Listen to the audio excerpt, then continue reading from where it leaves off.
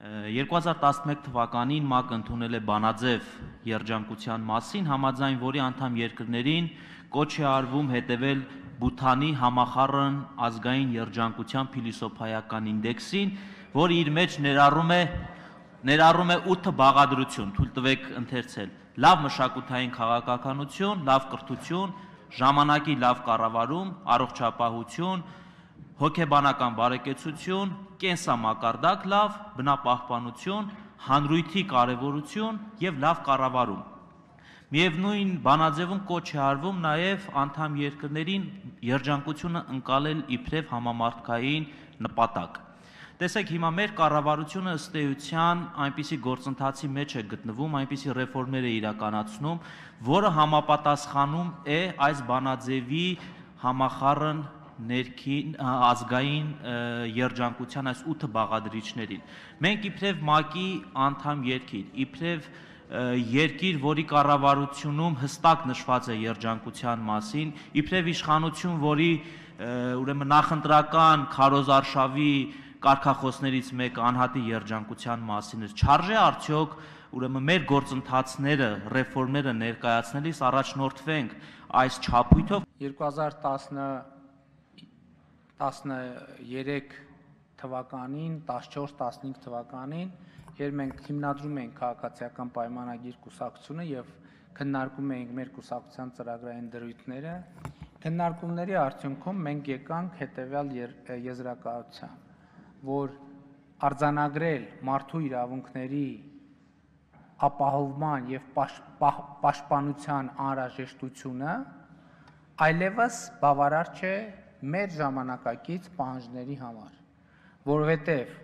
մարդու իրավունքները եւ ազատությունները կարող են պաշտպանված լինել, բայց մարդը չլինի երջանիկ։ Եվ հետեւաբար պետք է ոչ միայն մենք քաղաքական խնդիր դնենք ապահովել մարդու իրավունքները, ազատությունը, այլև պետքա քաղաքական խնդիրը լինի ստեղծել պայմաններ մարդու երջանկության համար։ Ընդ որում, եւ այն ժամանակ ուզում եմ ասել, որ ինչպես մեր շատ ասածների հետ կապված, քաղաքական հանրային դաշտում, մամուլում այսպես չարախնդում էին, հեգնում էին, եւ բայց դա մեզ համար զարմանալի չէր բայց ուզում եմ ասել, որ լիարժեք ընդունելով ձեր արած հարցադրումները, այո, եւ այդ էր պատճառը, որ 2018 թվականի խորհրդանական արտահերտ ընտրություններով ընտրություններում իմ քայլը դաշինքը հանդես եկավ երջանիկ անհատ հոգատար հանրություն, հզոր պետություն կարգախոսով եւ դրանով մենք շատ կարեւոր համարեցինք, որ մարդու երջանկությունը դրվի քաղաքական օրակարգում որպես բարձրագույն նպատակ։ Դուք բայց շատ այսպես ասած ավելի ավելի ծանրակշիռ կոմպոնենտների մասին խոսեցիք, ես ուզում եմ այսօր մի դրվակ պատմել մարզպետների մասնակցությամբ մեր ունեցած քննարկման մասին։ Ես մի նկարագրույց մի մի հարց դրեցի։ Ասի, երբ որ մենք ճանապարհ ենք կառուցում եւ ասֆալտ ենք անում, այդ ճանապարհը մենք դրանով լուծում ենք տրանսպորտային խնդիր։ Բայց մենք այդ ճանապարհը կառուցելուց հետո պետք է մեր առաջ խնդիր դնենք լուծել նաև քաղաքակրթական խնդիր եւ մարդու ապրելու միջավայրի խնդիր Որտեվ եթե ճանապարհը օրինակ ճանապարհի մասին էր խոսքը այնտեղ, մի օրինակ բերեմ։ Այդ ճանապարհը ասֆալտապատած է, բայց այդ ճանապարհը մաքուր չէ, եւ այդ ճանապարհը պատշաճ ձևով գծանշված չէ, եւ այդ ճանապարհի վրա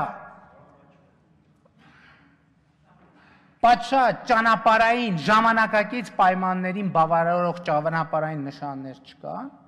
մենք մարդու երջանկությունը ապահովելուն խոչընդոտում ենք, որովհետև եթե մարդը A կետից պետքա գնա B կետը